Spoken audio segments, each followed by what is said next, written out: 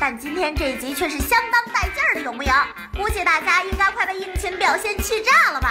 其实，在昨天的饭桌上，不少小伙伴可能就已经发现有点不对劲儿了。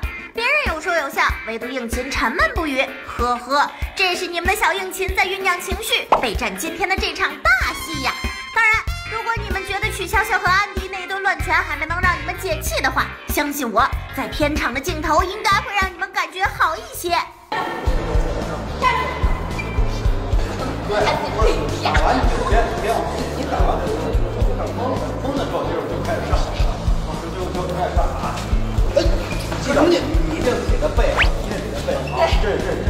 然后再给我一个，然后然后，你干什么？干什么你？抓来！哎哎一，然后哎哎抓抓！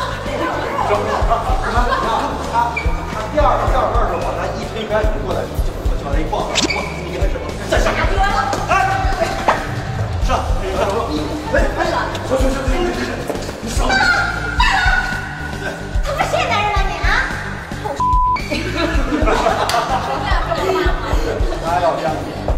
应勤呐，你简直是激起民愤了呀！简短带队射击动作走位，只为能让各位小伙伴们为莹莹出口气。一般是他把他一打，打完之后他挠挠他的手，只要他把他一推开，把消息推开，你顺着空直接往那一照，这样子别打了。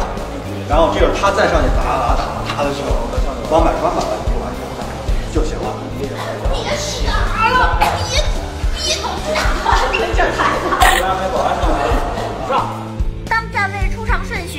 确定好之后，剩下的就是抠动作，这也成了曲筱绡的 show time。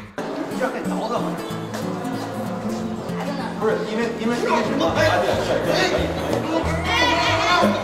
突破了！因为你要这样打吧，打不像，反而强。你还不扯出来那个让你我你还把把脸的捏成怪怪的样子。而到实拍时，应勤完全成了曲筱绡的人肉沙包。想跟我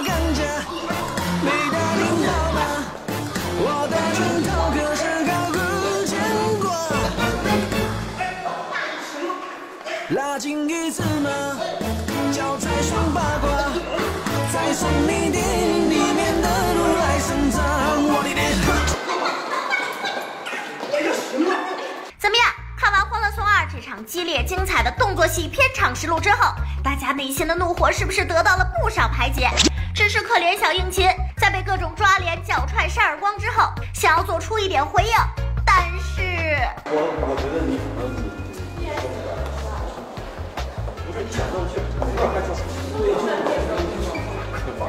对，可以啊，那那那是病，谁说有病谁说有病，但是你真是说不出来原因。什么叫谁当真谁傻瓜，谁弱智谁脑残？哎哎那哎，干嘛？呀你？给我还还了！站着！我跟你说啊，现在明明是小曲在当真啊，我就问了她一句到底有几个男朋友，她就倒打一耙，一直在逼我招供，说跟几个女人有过肌肤之亲。你说像这么这么个老娘们儿，这么彪悍的女人，她能吃亏吗？她只会理亏。你不用管她，不用替她担心。我现在要清理门户。我的电话呢？啊，你把我电话给我挂了！我这下我。哎，停了，停了一会儿，真打起来了。来，馆长。